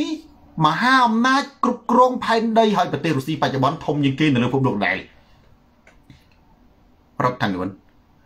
ស្ថានភាពប្រែប្រួលរបបកុម្មុយនីសនៅលើពិភពលោកកលាប់ចាក់ធ្លាក់ទុនខ្សោយពួកសេរីកើតឡើងកើនឡើងមហាអំណាចអាមេរិកកើនឡើងទើបធ្វើឲ្យរុស្ស៊ីអ៊ុយក្រែននឹងបានឯករាជ្យអ៊ុយក្រែនបានឯករាជ្យដោយសារស្ថានភាពពិភពលោកប្រែប្រួលពួកកុម្មុយនីសធ្លាក់ចុះរបបនៅរផ្ដាច់ការនៅរុស្ស៊ីដួលរលំប្រជាជនងើបឡើងធ្វើឲ្យប្រទេសតូចតូចនៅរុស្ស៊ីប្រហែលជា3 4ប្រទេសណា ឯករាជ្យស្ថានភាពអន្តរជាតិអានឹងខ្ញុំគាត់និយាយរឿងអ៊ុយក្រែនណាហេតុអីបានជាអ៊ុយក្រែនឯករាជ្យនិងហេតុអីបានជារុស្ស៊ីបាត់អ៊ុយក្រែនមិនមែនអ៊ុយក្រែនខ្លាំងទេស្ថានភាពពិភពលោកវាតម្រូវឲ្យវាអញ្ចឹងមួយទៀតខ្ញុំនិយាយពីប្រទេសកម្ពុជាហេតុអ្វីបានជាមានសង្គ្រាមនេះមានរដ្ឋប្រហារលន់នល់ហេតុអីបានជាមាន នេះកម្ពុជាទទួលបានឯករាជ្យដោយបកគោណានរមសែនុបើយើងនិយាយពីស្នាដៃក៏ស្នាដៃចុះប៉ុន្តែស្ថានភាពពិភពលោករបបអាណានិគមនៅលើផែនដីត្រូវបានបញ្ចប់បារាំងអត់មានហេតុផលណាដែលបន្តដល់អាណានិគមទៀតទេបារាំងនឹងដាក់អាណានិគមទៀតបើយើងខ្សោយប៉ុន្តែបើយើងខ្លាំងវាត្រូវបោះចោលខ្លះហើយនេះចាប់ ពោះសម័យកាលចិត្តជលសាអាសង្គ្រាមលោកវាត្រូវចប់សង្គ្រាមសង្គ្រាមលោកទី1សង្គ្រាមលោកទី2ចប់មកអាណានិគមអង់គ្លេសអាណានិគមអាបារាំងអាណានិគមអេស្ប៉ាញអាណានិគមផ្សេងផ្សេងចាប់ផ្ដើមដកខ្លួនថយប្រទេសណាដែលនៅកាន់កាប់កាន់កាប់ប្រទេសណាដែលបោះបង់ចោលលែងមានប្រយោជន៍ធ្វើបោះបង់ចោលអញ្ចឹងវាធ្វើឲ្យប្រទេសមួយចំនួនប្រឹងតែមកក្រាក់បានឯករាជ្យប៉ុន្តែបើសិនជាស្ថានភាពអាណានិគមនៅខ្លាំង ស្ថានភាពពិភពលោកអត់មានការប្រែប្រួលយើងរើអត់រួចពីអាណានិគមបារាំងទេប៉ុន្តែស្ថានភាពពិភពលោកអន្តរជាតិវាប្រែប្រួលនាំឲ្យយើងប្រឹងតែមកក្រែកយើងប្រើឱកាសនោះផុតមកបានឯករាជ្យទៅហើយមួយឥឡូវយើងមើលបន្តទៀតនេះហេតុអីបានជាមានរដ្ឋប្រហារលន់នល់អានោះបើយើងមើលមកផ្លើតយើងថាមកពីកម្ពុជាផ្ដាល់ដីឲ្យពួកយិកុង ណែប្រើប្រាស់ទឹកដីខ្មែរដើម្បីដឹកស្បៀងដើម្បីដឹកអាវុធណានាំឲ្យមានខ្មែរយើងមួយចំនួនខឹងសបាព្រោះពួកយួននឹងវាចូលមកឲ្យវាអត់ចេញទៅវិញវាមិនមែនមកទៅតបទេវាមកទៅតបវាមកទាំងគ្រួសារមកទាំងប្រជាជនវាអត់ព្រមចេញទៅវិញទឹកដីខ្មែរប្រហែលខែតាមព្រំដែនយួនយកទឹកអញ្ចឹងត្រូវបដិញយួនចេញទៅវិញហ្នឹងអានេះត្រូវត្រូវនៅក្នុងរង្វង់មួយប៉ុន្តែបើយើងមើលទៅលាយហេតុអីបានជាមានរដ្ឋប្រហារវាដោយសារតែសង្គ្រាមត្រជាក់រវាងកុម្មុយនីសនិងសេរី ដែលធ្វើឲ្យប្រទេសវៀតណាមពុះជាពីររវាងប្រទេសវៀតណាមខាងជើងនិងវៀតណាមខាងត្បូងវៀតណាមសេរីនិងវៀតណាមកុម្មុយនីសវៀតណាមសេរីគ្រប់គ្រងដោយអាមេរិកវៀតណាមកុម្មុយនីសគ្រប់គ្រងដោយរុស្ស៊ីពេលនឹងហើយដែលមានសង្គ្រាមផ្ទៃក្នុងវៀតណាមខាងជើងវៀតណាមត្បូងហ្នឹងសង្គ្រាមវៀតណាមហ្នឹងហើយដែលនាំឲ្យមានពួកយេកុងដាក់ប្រើប្រាស់ទឹកដីកម្ពុជា វានាំវិជ្ជាអតិពលមកដល់ស្ថានភាពនយោបាយកម្ពុជាវានាំមានរដ្ឋបហាមែនទេចាស់ហើយបានលុនដួលរលំអានឹងវាដោយសារតែពាក់ព័ន្ធជាមួយនឹងស្ថានភាពអន្តរជាតិទៀតសង្គ្រាមត្រជាក់ត្រូវបានស្បើយណាអតិពលរុស្ស៊ីនិងអតិពលអាមេរិកចាប់ផ្ដើមលែងប្រឈមមុខចាប់ផ្ដើមងាកទៅអភិវឌ្ឍប្រទេសរៀងខ្លួនវិញ ពេលដែលអាមេរិកដកទ័ពចេញពីវៀតណាមជារីសេងអាមេរិកដកទ័ពចេញពីវៀតណាមរដ្ឋសភាព្រឹទ្ធសភាអាមេរិកអនុម័តដកទ័ពចេញទៅវៀតណាមឯកភាពទឹកដីទាំងពីរពេលនឹងហើយអធិពលកុម្មុយនីសខ្លាំងដល់អធិពលកុម្មុយនីសខ្លាំងលន់នល់ពឹងលើអាមេរិកអាមេរិកដកទ័ពខ្វល់លែងខ្វល់ហើយនេះគោលនយោបាយរបស់គេគឺមិនមែនជួយកម្ពុជាទេគោលនយោបាយរបស់គេគឺឈ្លានពាន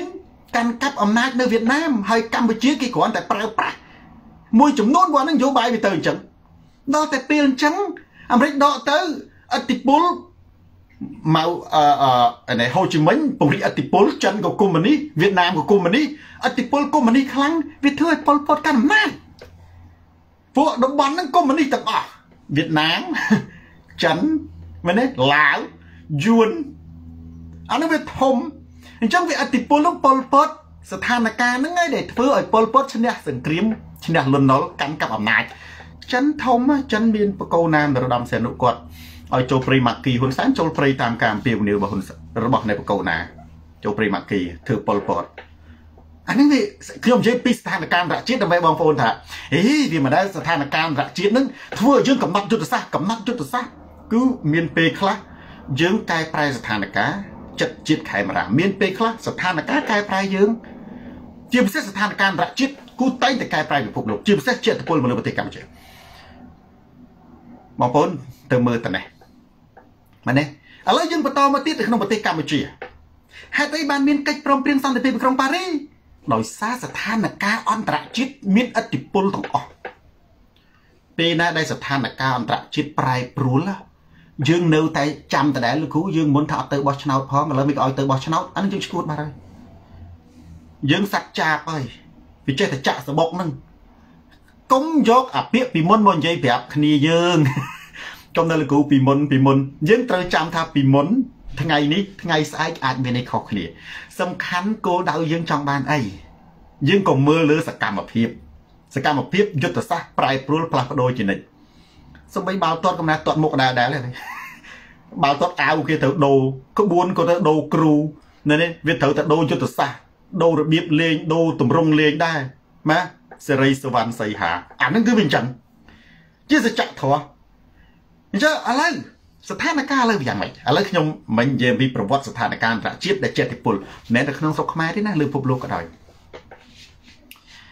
បងប្អូនស្ថានភាពពិភពលោកបច្ចុប្បន្នណា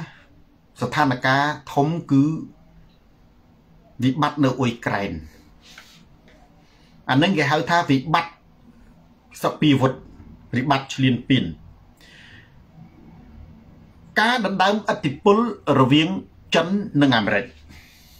អានឹងគឺស្ថានភាពធំនៅពេលណាដែលដណ្ដើមអធិបុលរវាងចិននិងអាមេរិក ពេលនោះគេសម្លឹងរកឃើញប្រទេសណា ដែលគេចង់បោះទីតាំងជ្រោជើងមួយ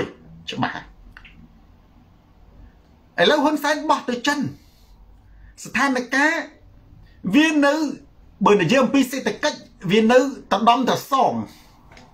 តដំតសងហើយចិនសម្ព័ន្ធមិត្តជាមួយនឹងរុស្ស៊ីនិងប្រទេសកូរ៉េខាងជើងប្រទេសផ្ដាច់ការនៅលើពិភពលោក ហើយអាមេរិកផ្ដោតការយកចិត្តទុកដាក់សំខាន់ទៅលើតំបន់អត់ទៅសំខាន់ទៅលើប្រទេសទៅលើតំបន់ណាឧទាហរណ៍ថាឥណ្ឌូចិនអាស៊ាននិងអាស៊ីប៉ាស៊ីហ្វិកវាផ្ដោតទៅលើតំបន់អញ្ចឹងបើកាលណាអាមេរិកប្រជុំជាមួយអាស៊ានអាមេរិកផ្ដោតទៅលើហ៊ុនសែននេះអាមេរិកសម្លឹងមើលទប់ប្រទេសព្រោះ ធម្មតាហ៊ុនសែនត្រូវតែធ្វើប្រធានអាស៊ានវិលជុំហើយមួយឆ្នាំមិនមែនគាត់បោះឆ្នោតជាប់ទេឆ្នាំក្រោយចូលឆ្នាំ2023ធ្លាក់ទៅប្រទេសវៀតណាមហើយវាវិល10ឆ្នាំប៉ះយើងម្ដងអានឹងគ្រឿងធម្មតាគាត់នឹងបញ្ជាក់បងប្អូនកុំច្រឡំថាអាមេរិកទៅទៀតអាមេរិកហៅហ៊ុនសែនទៅប្រជុំនៅស្ថាប័នមានមានន័យថាអាមេរិកទទួលស្គាល់ហ៊ុនសែនឬក៏ហ៊ុនសែនសម្បើមកចាមិនមែនទេប្រទេសខ្មែរត្រូវបានចិនយកហើយប៉ុន្តែអ្វីដែលអាមេរិកផ្ដោតការយុទ្ធដាក់សានពួកអានោះវាជាកញ្ញុំវាមិនអាចយកមួយអត់មួយវាជាកន្សោមណា អាមេរិកគេមើលទៅលើតំបន់តំបន់អាស៊ានហ្នឹងប្រទេសសំខាន់សំខាន់នេះគេមើលទៅលើរមៀមហាអំណាចដូចជាហ្វីលីពីនឥណ្ឌូនេស៊ីហ្វីលីពីនឥណ្ឌូនេស៊ីម៉ាឡេស៊ីថៃអាហ្នឹងគឺជាប្រទេសមហាអំណាចដែលវាវាធ្វើឲ្យតំបន់អាស៊ាននឹងមានការប្រែប្រួលប្រទេសកម្ពុជាអត់អាចធ្វើតំបន់អាស៊ានប្រែប្រួលទេគ្រាន់តែគេឲ្យកាន់តែញួរវិលជុំទេឆ្នាំក្រោយដល់គេផ្សេងអាហ្នឹងវារឿងធម្មតាទេអញ្ចឹងបងប្អូនកុំចម្លែកថៃហ៊ុនសែនអស់ចាណាសិតតែគេអត់ទេអាហ្នឹងច្បាក់វិលដល់តំណឹង បើមិនវិលដល់ហ៊ុនសែនហ៊ុនសែនយកមានពីណាទៅទោះជាសំរងស៊ីឬកម្មសខាដឹកនាំប្រទេសក៏ដោយប្រធានអាស៊ានបើមកដល់គឺត្រូវទៅដល់ហ្នឹងសំស៊ីយមត្រីសំស៊ីកណ្ដយុកម្មសខាយមត្រីកម្មសខាកណ្ដយុនឹងឡាយសផាអញ្ចឹងស្ថានភាពនេះបងប្អូនណាវិបត្តិសំខាន់នៅលើពិភពលោកបើកណាឃើញស្ថានភាព3ប្រទេសធំធំឥឡូវយើងមានមួយទៀតអឺរ៉ុបសហភាពអឺរ៉ុប4តំបន់មានអាមេរិកមានចិនមានរុស្ស៊ីមានសហភាពអឺរ៉ុប ប៉ុន្តែវិបត្តិសំខាន់សំខាន់មាន2នៅលើផែនដីយើងនេះទី1វិបត្តិឈ្លានពាននៅអ៊ុយក្រែនអានឹងធំទី2វិបត្តិរដ្ឋប្រហារយោធានៅភូមាអាពីរនឹងវាធំ នៅពេលណាដែលអាពីរនឹងវាធំ ពិភពលោកចាប់ផ្ដើមចោលភ្នែកផ្នែកសេដ្ឋកិច្ចនិងសពាវុធទៅលើវិបត្តិហ្នឹងឧទាហរណ៍ថាបច្ចុប្បន្នវិបត្តិនៅអ៊ុយក្រែន ណាហើយបើនៅតំបន់អាស៊ីពិភពលោកនិងអាស៊ានចាប់ផ្ដើមផ្ដោតសំខាន់ខ្លាំងជាងគេ ទៅលើវិបត្តិភូមិចុះវិបត្តិកម្ពុជា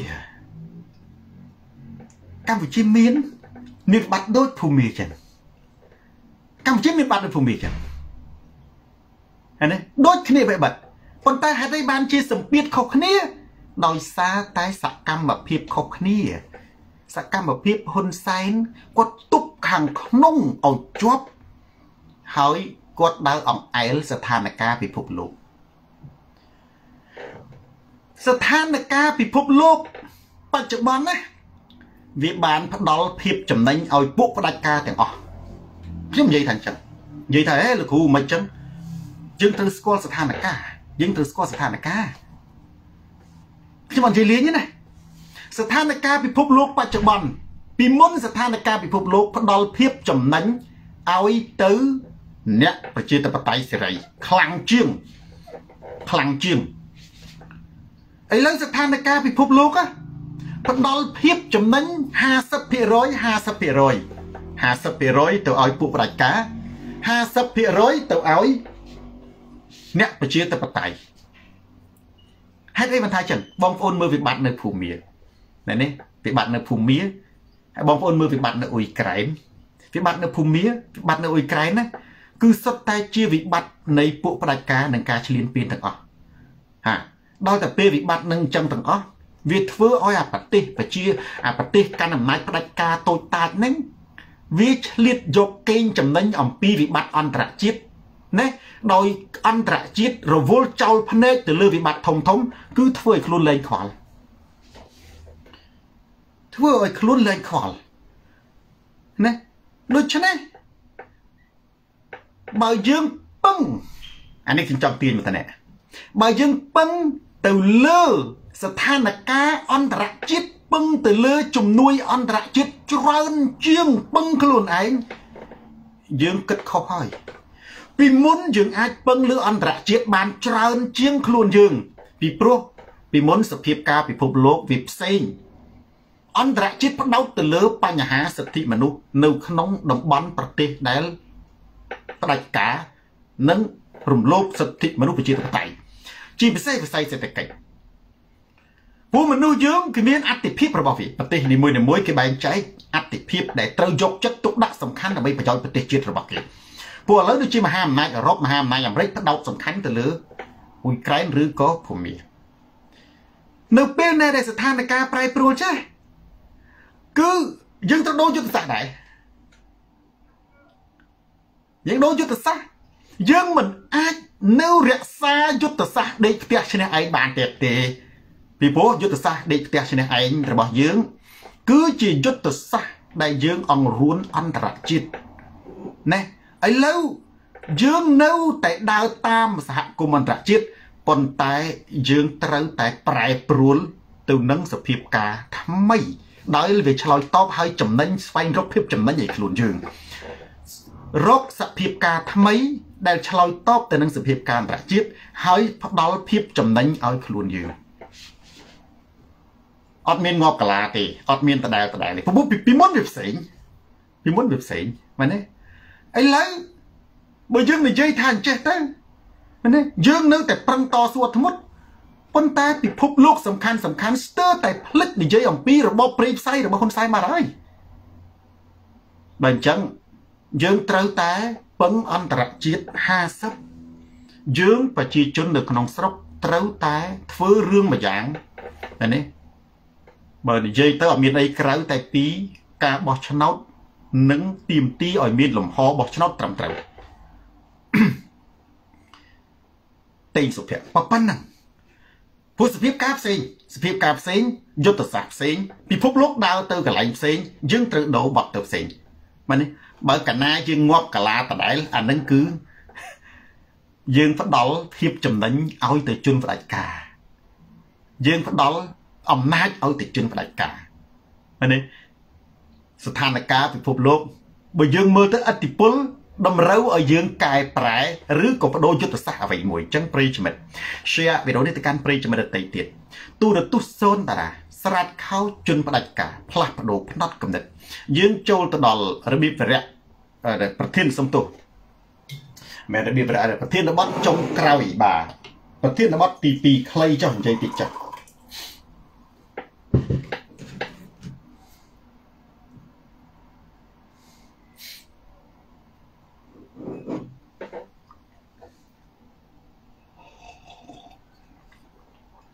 មួយម៉ាត់ចុះ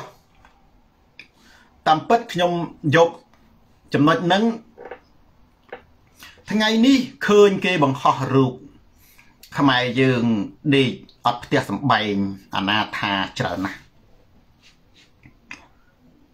ហើយក៏ឃើញមិត្ត CPP គេប្រតិកម្មដែរដោយគេថាប្រទេសណាក៏វាអញ្ចឹងដែរប្រទេសណាក៏អត់ ក៏មានជនអនាថាប្រទេសណាក៏មានអ្នកសុំទានប្រទេសណាក៏មានអ្នកអត់ផ្ទះសម្បែងប្រទេសណាក៏មានអ្នកដេកតាមចើមផ្លូវខ្ញុំថាអត់ត្រូវអត់ខ្ញុំអត់បដិសេធទេបើយើងថាខុសគឺអត់គឺអត់ត្រូវបើយើងថាត្រូវត្រូវប៉ុន្តែត្រូវក្នុងកម្រិតណា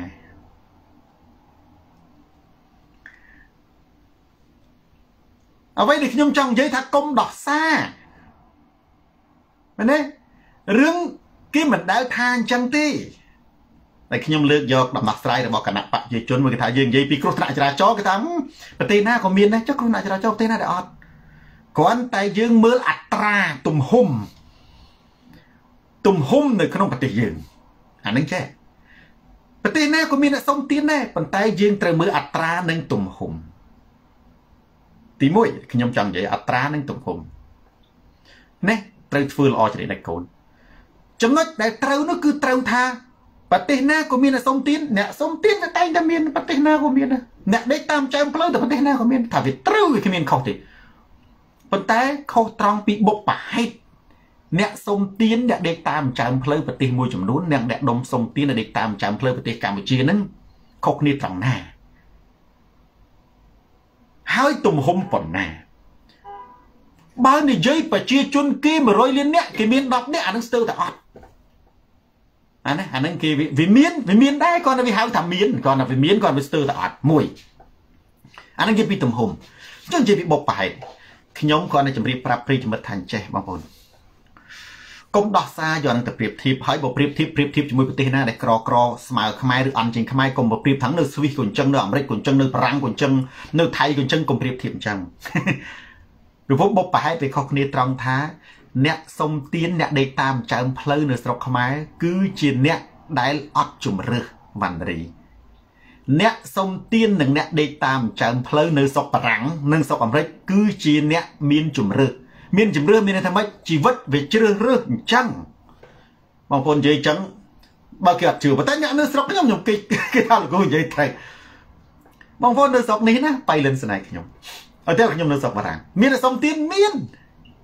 ប៉ុន្តែបើអ្នកនោះជាជនបរទេសខុសច្បាប់លួចឆ្លងដែនចូលមកអត់មានកដាស់ស្នាមអត់មានអត្តសញ្ញាណមិនដឹងទៅណាមិនសុំទានតើមានកដាស់ស្នាមអត្តសញ្ញាណយើងទៅរកផ្ទះទិញផ្ទះម្ដាយក្រោយទៅជួលផ្ទះទៅរកការងារពីណាក្រោយធ្វើអញ្ចឹងមានអរុសសុំទានប៉ុន្តែសួរថានៅក្នុងប្រទេសកម្ពុជានឹងមានជនអន្តោប្រវេសន៍ខុសច្បាប់ចូលមកអត់ផ្ទះសម្បែងអត់ក្តារស្នាមមិនសុំទានអត់ទេមានតែពួកនឹងមកទិញផ្ទះទិញវិឡាខ្មែរម្ចាស់ស្រុកខ្លួនឯងនឹងសុំទានណាសុំទានធ្លាក់រត់ដល់ថៃផងខ្មែរហ៎ ខុសគ្នាតណែណានៅស្រុកនេះវានៅស្រុកបារាំងអ្នកសុំទៀតលើកតែជនបរទេសដែលលួចឆ្លងដែនមកខុសច្បាប់រស់នៅអនាថាប៉ុន្តែរត់នៅតាមជួយមានអង្គការតាមឲ្យភួយគេរកមនុស្សស្លាប់ឯងឈឺពេទ្យដឹកទៅដូចតែគ្នាអត់មានកដាស់ស្នាមឯសោះណាប៉ុន្តែគាត់ថាអត់ដឹងធ្វើម៉េចបត់មានការងារធ្វើផងអានោះវាត្រូវអញ្ចឹងឯងមួយទៀតហេតុបានខ្ញុំថាស្រុកនេះ វាជាជំរឿវាជាជំរឿបើអ្នកនឹងមិនមែនជាជនបរទេសជាប្រជាជនអាមេរិកជាសញ្ជាតិអាមេរិកសញ្ជាតិបារាំងស្របច្បាប់ពួកនោះវាសិតមានប្រាក់ខែតើដូចនៅស្រុកបារាំងសូនតារាអត់មិនមែនសញ្ជាតិបារាំងមកខ្ញុំមានប្រាក់ខែបងប្អូនពិចារណាមើលខ្ញុំមិនមែនសញ្ជាតិបារាំងខ្ញុំអត់មានបារាំងអីផងហ្នឹងខ្ញុំគ្រាន់តែមករស់នៅនេះខ្ញុំមានប្រាក់ខែប៉ុន្តែខ្ញុំមិនសុំទៀតបានខ្ញុំទៅក៏បានដែរ ខ្ញុំចង់ដេកលេងតាមចាំផ្លេងដឹកតែឆ្កែមួយខ្ញុំអត់ខ្វល់បងថ្លៃទឹកថ្លៃវិញខ្ញុំទៅដេកតាណាសបាយជីវិតរបស់ខ្ញុំមានតែកង់មួយមានអាឬមានក៏អាសក្កដោធំមួយប៉ុណ្ណានៃស្ពាយទៅក្រោមស្ពានដេកលេងអញ្ចឹងទៅអាហ្នឹងជាជំរឿរបស់ខ្ញុំឯងនៅស្រុកយើងណាអត់មានចឹងទេស្រុកយើងអ្នកទាំងនោះសុទ្ធតែជាជនរងគ្រោះនៃរបបមិនមែនជាអ្នក ជំរឿរបស់គេ ហើយមិនមែនជាជនបរទេសដាច់យ៉ៃពីណាមកចូលលួចចូលស្រុកខ្មែរអត់ផ្ទះសម្បែងនៅទេអត់មានទេហើយបើនិយាយពីអ្នកសុំទៀនវិញណាពីមុនគេធ្លាប់អួតរឿងទូកវែងជាងគេហាខ្ញុំឯនេះក៏ប្រាប់ថាគ្មានអីវែងជាងអ្នកសុំទៀនទេឯកតកម្មពិភពលោកនោះ ជាពិសេសបើទៅភ្នំតាម៉ៅបងប្អូនអើយភ្នំតាម៉ៅប្រហែលគីឡូម៉ែត្របើថា10គីឡូម៉ែត្រពីមាត់ច្រកឡើងទៅដល់កពូលភ្នំគឺអ្នកសុំទៀនមានប្រវែង10គីឡូម៉ែត្រវែងជាងទូកវែងកម្មាវែងរបស់នៃក្រុមហ៊ុនមនីទៅទៀតអញ្ចឹងហេតុបានខ្ញុំលើកតនេះមកនិយាយ PT Kim ខ្ញុំនិយាយដើម្បីកុំឲ្យគណៈបកប្រជាជននឹងយកអានឹងទៅបោកប្រាស់ខ្មែរគេថាអូអាមេរិកក៏មានដែរអូអាបារាំងក៏មានដែរបងប្អូន អាមានសំទាននឹងមនុស្សខ្លះវាជាជំរឿរបស់មនុស្សណានៅប្រទេសកម្ពុជាអត់ទេមានអ្នកខ្លះបាត់ផ្ទះបាត់សម្បែងត្រូវបានគេប្លន់ដីធ្លីគេឈូសផ្ទះចោលអត់មានការងារធ្វើរត់លិចរត់កើត ទៅសុំទានគេទៅរស់នៅប្រទេសកម្ពុជា វាមិនមែនជាជំរឹះរបស់មនុស្សទេ វាគឺជាការរងទណ្ឌកម្មរបស់របបហើយប្រទេសទោះជាល្អអត់ខ្ចោះយ៉ាងណាក៏ដោយវាត្រូវតែមានអ្នកដេកតាមចើមផ្លូវនិងមានអ្នកសុំទានពីព្រោះមានប្រភេទមនុស្សខ្លះវាចូលចិត្តអញ្ចឹងប៉ុន្តែវាមិនមែនជាប្រទេសដែលរបបនោះគេធ្វើឲ្យអញ្ចឹងទេនៅស្រុកបារាំងវាមានអ្នកសុំទានវាមិនដេកតាមចើមផ្លូវ ប៉ុន្តែអានេះស្ម័គ្រចិត្តរបស់គេអានឹងវាធ្វើមិននៅស្រុកអាហ្វ្រិកក៏ចឹងដែរបើអត់ចង់ធ្វើចឹងក៏បានដែរស្រុកខ្មែរមានពេលខ្លះមិនមិនចង់ធ្វើអញ្ចឹងបើមិនធ្វើអញ្ចឹងតើឲ្យធ្វើអីវាអត់មានជំរឿវាមានជំរឿតែកាយសម្រាមដេកតាមចើមផ្លូវសុំទៀនណា ចង់មុងអត់ផ្ទះសំបីនឹងទៅអញ្ចឹងប្រិយមិត្ត share វីដេអូនេះទៅកាន់ប្រិយមិត្តដទៃទៀតទូរទស្សន៍សូនតារាស្រាច់ខោជន់ផ្ដាច់ការផ្លាស់ប្ដូរផ្នែកកំណត់យើងឈានចូលទៅដល់របៀបរយៈចុងក្រោយសំណួរចម្លើយនិងបញ្ហាផ្សេងផ្សេងបាទបងរិទ្ធីសឿនង៉ែតក៏មកគាត់តបទៅអ្នកដតីម៉ារីសានណា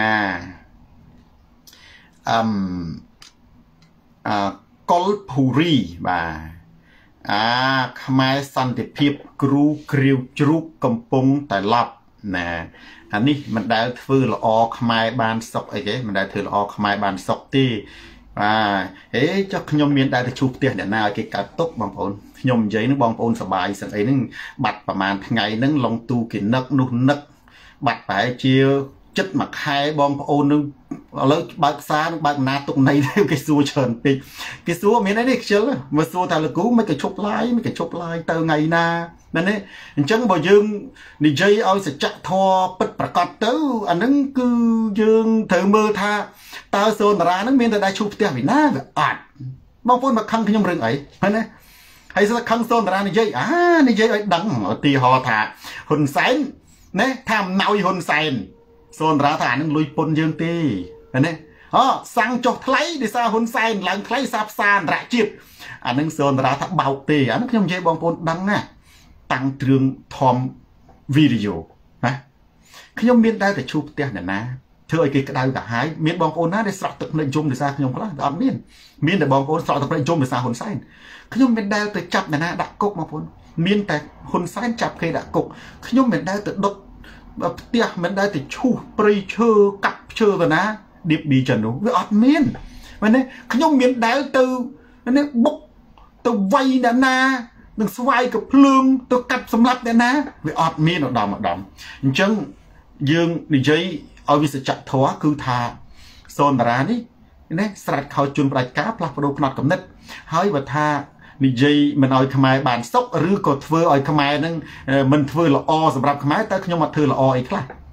មែនទេបើខ្ញុំនិយាយខ្ញុំនិយាយវាអញ្ចេះតើបងប្អូនណាបើសិនជាបងប្អូនចង់ស្ដាប់ដល់ខ្ញុំនិយាយទេចាំមានប៉ះពាល់អីទាំងអព្រោះអានឹងស្ថិតក្នុងទូរស័ព្ទនេះសូនតារាក្នុងទូរស័ព្ទទៅជាហៅថាបើសិនជាបងប្អូនទេសូនតារានិយាយចឹងណាធ្វើនេះយើងកុំស្ដាប់អើកុំស្ដាប់អត់លឺទាំងអស់ហ្នឹងណាយើងមានដឹងអីប៉ុន្តែបើហ៊ុនសែន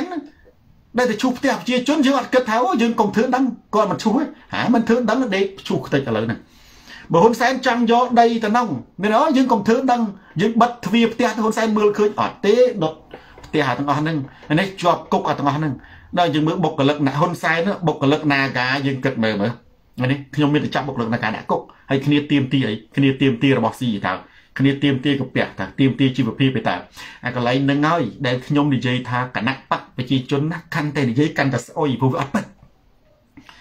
ហើយសូនតារាគណៈបកសង្គ្រោះជាតិកុកកាកាន់តែនិយាយកាន់តែកោបពីព្រោះវាពិតវាបើកឲ្យភ្លឺតែម្ដង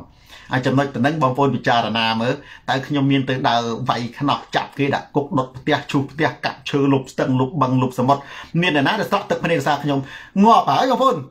សូនតារាបើមិនចង់ស្រាក់ទឹកភ្នែកងាយទេបិទតទូរស័ព្ទចេញទៅលែងលឺខ្ញុំបាត់ហើយប៉ុន្តែហ៊ុនសែនណាធ្វើឲ្យប្រជាជនស្រក់ទឹកភ្នែកជាប់គុកព្រាត់ប្រាស់គ្រូសានេះបាត់បង់ផ្ទះសំបែងដីធ្លីអស់ព្រៃឈើព្រៃទាំងអស់ណាមិនដោយមិនយើងបិទទូរស័ព្ទរួចទេណាអត់បានទេអានឹងគាត់តែខ្ញុំជម្រាបចេះនារីជនបទអាសំហ៊ុននិងកែវធីតាពេជ្រត្រូវចាំបងប្អូនកូនចៅ អីគេណាមេណាល្អមិនអត់យល់ភាសាច្បាស់ច្បាស់អឺគឹមហុងសុផាតប្រិសនិងអូនសាអូនសាសាបាទច្រើនណាស់លោកគ្រូនៅស្រុកខ្មែរអ្នកសុំទៀនអ្នកសុំទៀននៅស្រុកខ្មែរសុំទៀនដោយសាររបបហ៊ុនសែនខុសគ្នាទៅចេះអ្នកសុំទៀននៅស្រុកបារាំងនៅស្រុកអាមេរិកគឺដោយសារតែគេចង់សុំទៀនអាព្រោះនឹងសុំទៀនមានប្រាក់ខែកុំឲ្យប្រេះផ្ដាស់ណា ពួកនឹងមានប្រាក់ខែទេទីខ្ញុំច្រឡំនិយាយអ្នកនៅអាមេរិកបើកឡានលុយលុយឲ្យលុយអ្នកសុំទៀននឹងមិនសួរលុយតិចជាងពួកនឹងផងពួកនឹងលុយក្នុងធនាគារច្រើនណាអីមិនចឹងហើយចុះបើយើងប្រាក់ខែច្រើនមែននៅអាមេរិកប្រាក់ខែច្រើនបើកមកបងឡៃផ្ទះថ្លៃទឹកថ្លៃភ្លើងថ្លៃឡានខោអាវយើងលុយហ្នឹងអាពួកនោះប្រាក់ខែវាតិចជាងយើងពាក់កដាលរត់ជួយប៉ុន្តែវាមានបងស្អីអត់បងស្អីក៏វាបងដែរហើយវាសុំលុយយើងបានទៀតផឹកស្រានេះទិញនេះដូណាត់ hamburger ស៊ីទៅវាដេកតែក្រោមស្ពានហ្នឹង យើងចំណូល5000មកចាយវិញអស់4000សល់1000ទៅទៀតវាចំណូលតែ500ក៏ច្រើនជាងយើងណាបងប្អូនទីច្រឡំនិយាយចឹងខ្ញុំនិយាយចឹងមាននៅអាមេរិកក៏ដឹងតែចំលោកគ្រូតិចមែនដែរអើខ្ញុំអត់ដឹងដែរតិចមែនបងប្អូនណាអ្នកអាមេរិកអ្នកនៅស្រុកបារាំងនេះប្រយ័ត្នលុយតិចជាងអ្នកសុំទានបើអ្នកសុំទានទៅខ្មែរអត់ទេគឹមលីអ៊ីវបាទ ប៉ះហ៊ុនសែនស្អុយប៉ះសូនតារាក្រអូបដូចទឹកអប់ត្រឹមត្រូវហើយបាទគឹមលីអ៊ីវសាងគេស្ទង់តារាប្អូនត្រូវរក្សាសច្ចភាពជានិច្ចបាទសូនតារាគឺជានិមិត្តរូបនៃសច្ចធម៌បាទនិយាយតែពាក្យពិតតែប៉ុណ្ណោះព្រោះគ្មានអ្នកណាស្រក់ទឹកភ្នែកដោយសារសូនតារាទេគេថាហែងអត់ស្រក់ទឹកភ្នែកមិនហែងនិយាយចឹងធ្វើឲ្យគេអើបើបិទទូរស័ព្ទទៅលែងឃើញហើយចុះអាគេមើលគេមើលមកពេលគេសប្បាយ អ្នកដែលមើលសូនតារាមិនមែនមើលមកស្រក់ទឹកភ្នែកទេគេមើលមកបធូរអារម្មណ៍មកដោះទុកមានពេលខ្លះសង្គមវាស្មុគស្មាញនយោបាយវាឈូសចាប់ពើចសត្វសារុរៈពេលដែលបានមើលការនិយាយរបស់សូនតារាទៅវាធ្វើឲ្យធូរទ្រូងវាធ្វើឲ្យដេកលក់វាធ្វើឲ្យលហើយខួនតិចដែរយ៉ាងហោចក៏ជាថ្នាំតិចដែរបានប៉ុនទេតើមែនទេហើយចុះគេថាចូលមកពីអ្នកឯងនឹងខឹងខឹងគេនិយាយត្រូវ អ្នកឯងនឹងមិនចង់ឲ្យគេនឹងជឿអញ្ចឹងហៅពួកផ្ដាច់ការនេះកូរ៉េខាងជើងកឹមជើងអ៊ុនអញ្ចឹងតែគាត់នៅស្ដាប់វត្ថុអាស៊ីសេរីយកទៅបាញ់ចោលបាត់អានឹងគេសប្បាយស្ដាប់តើមិនវត្ថុអាស៊ីសេរីនឹងធ្វើឲ្យកូរ៉េខាងជើងរលាយណាបងប្អូននេះវត្ថុអាស៊ីសេរីដែលនិយាយជាភាសាកូរ៉េខាងជើងនោះសុភ័ក្របើមិនចង់ស្ដាប់អត់ទៅមានយកគ្នាទៅបាញ់ចោលបាត់អានឹងដូចគណៈបកប្រជាជនជាគ្នាអ្នកឯងមិនស្ដាប់អត់ទៅមានថាគេអ្នកស្ដាប់គេសឹកសប្បាយតើ ណែនេះហើយអ្នកឯងភ័យខ្លាចគេជឿសូនតារាបើសូនតារានឹងនិយាយដោយហ៊ុនសែនក៏អត់ជឿត្រូវហើយណែបើខ្ញុំនិយាយច្បាស់ហើយប្រកាន់នៅសច្ចធម៌ជារឿងធម្មតាទេសំបីតែអ្នកឯងក៏ត្រូវតែកែប្រែផ្នត់កំណត់ណែមកសំពះសូនតារាធ្វើគ្រូដែរហើយជឿទៅតាមគ្នាដែរអានឹងនោះបាទមៀតមេតាតនអត់មានទេលីអេជួន Texas free for them ណា free អីគេវ៉ាន់រីលួនបាទលោកគ្រូបានបនច្រើនណាស់អេបានបនណាអ្នកមើលមើលសូនរាហ្នឹងមានអ្នកខ្លះតឹងទ្រូងអ្នកខ្លះអប់សុកអ្នកខ្លះ scroll ចុះ scroll ឡើងអ្នកខ្លះស្ថានភាពនយោបាយអាប់អ៊ូពេកអ្នកខ្លះចង់និយាយនិយាយមកកើតបានមើលទៅរៀងធូរទ្រូងអ្នកខ្លះ stress អស់សង្ឃឹមអញ្ចឹងទៅបានស្ដាប់ទៅថាអូលោកគ្រូដូចមានអារម្មណ៍ឡើងវិញមិនមានទឹកចិត្តឡើងវិញអាហ្នឹងសិតតែជារឿងល្អ ប៉ុន្តែបងប្អូនស្ដាប់ហ៊ុនសែនកើតរោគចិត្តហ៊ុនសែនកើតរោគចិត្តហើយមានអវន្តែអ្នករងគ្រោះដោយសារហ៊ុនសែនច្រើនណាស់អាយីឈីងលឹមបាទស្ដាប់សូនតារាទទួលចំណេះដឹងកើនបញ្ញាឡុងទូនៅខ្មែរមិនដឹងរកអីទេដាច់បាយហើយបាទគឹមលីអ៊ីវ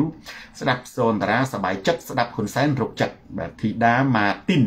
ស្រុកបារាំងយើងសុំទៀនផឹកសុទ្ធតែស្រាបៀ